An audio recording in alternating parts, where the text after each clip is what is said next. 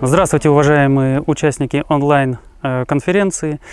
Э, сегодня мы поговорим э, немножечко о такой значимой и достаточно э, успешной культуре за последние десятилетия, как соя. Поговорим о проблемах, о сортах и о перспективах, которые в Алтайском крае данную культуру подстерегают. Хотелось бы немножечко коснуться истории. Ее можно разделить на три этапа. Первый этап – это э, завоз э, и пробные э, мероприятия после организации первого в Алтайском крае опытного участка сельскохозяйственного испытания. Это начало 30-х годов.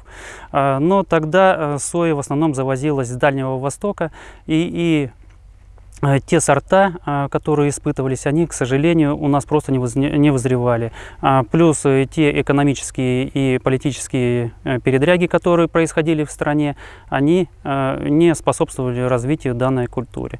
А, второй этап становления и попытки становления сои на Алтае – это 60-е годы, а, когда уже на Западе вовсю обратили внимание на данную культуру и перешли непосредственно к селекционному процессу процессу.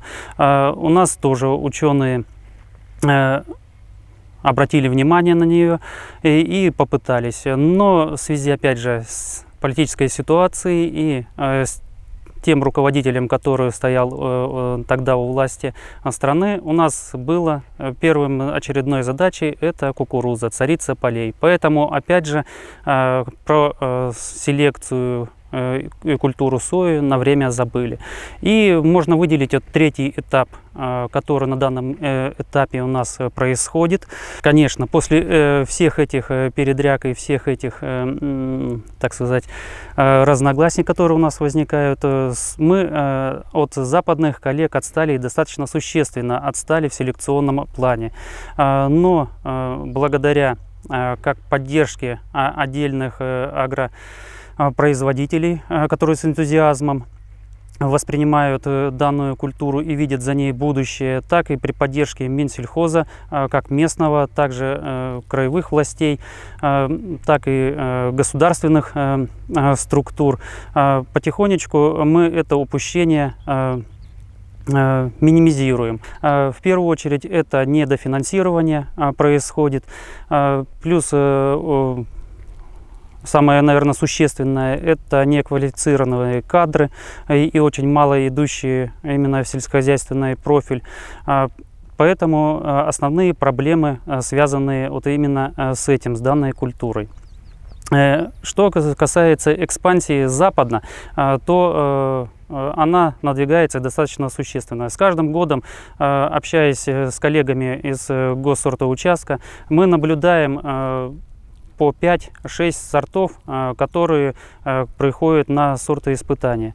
А посевные площади в Алтайском крае, как и в мировой практике, неуклонно растут. Если э, все сложится благоприятно с погодно-климатическими условиями в этом году, то прирост будет достигать 5-7%. Это традиционно для данной культуры. В мировой практике около Э, больше 100 миллионов, уже больше 130 миллионов э, гектар э, сои посеяно. Основными поставщиками являются и соесеющими странами это США, Аргентина, Бразилия. Россия только в прошлом году достигла перевалила за миллионный рубеж и собрав достаточно рекордный урожай сои, более 3 миллионов тонн. Э, поэтому для нас э, тоже э, стоит первоочередная задача поддержать этот уровень и достаточно перейти на более высокие показатели. Как я уже отмечал, в Алтайском крае посевные площади достигают порядка 150 тысяч гектар.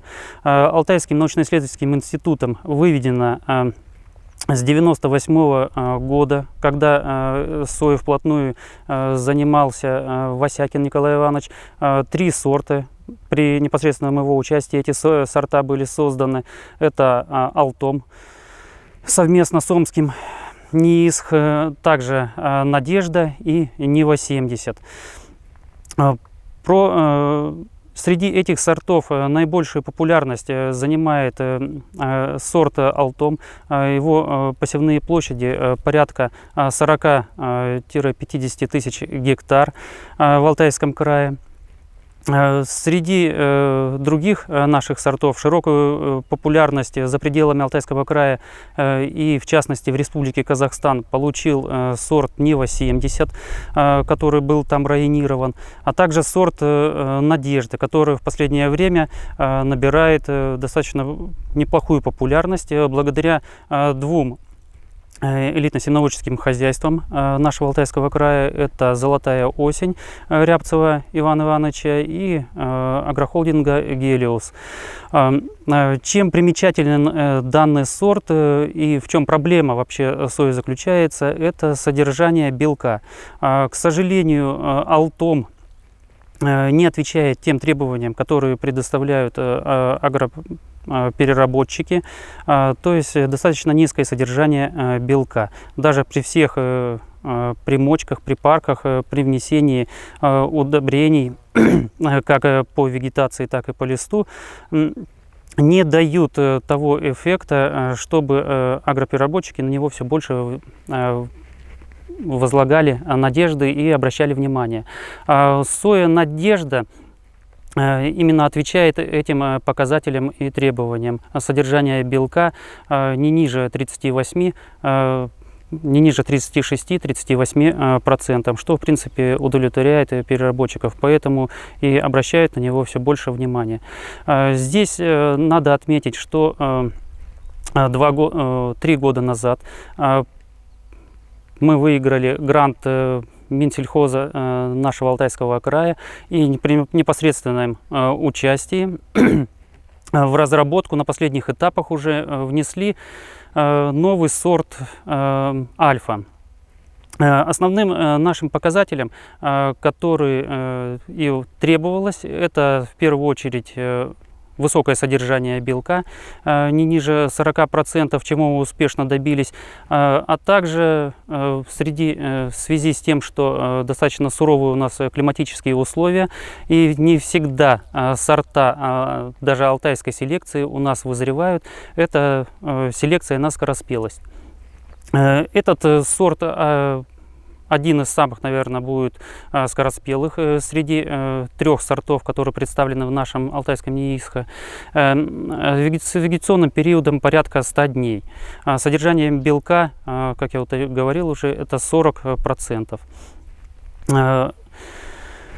По селекционному процессу алтайский НИИСК с каждым годом набирает все больше и больше, так сказать, обороты.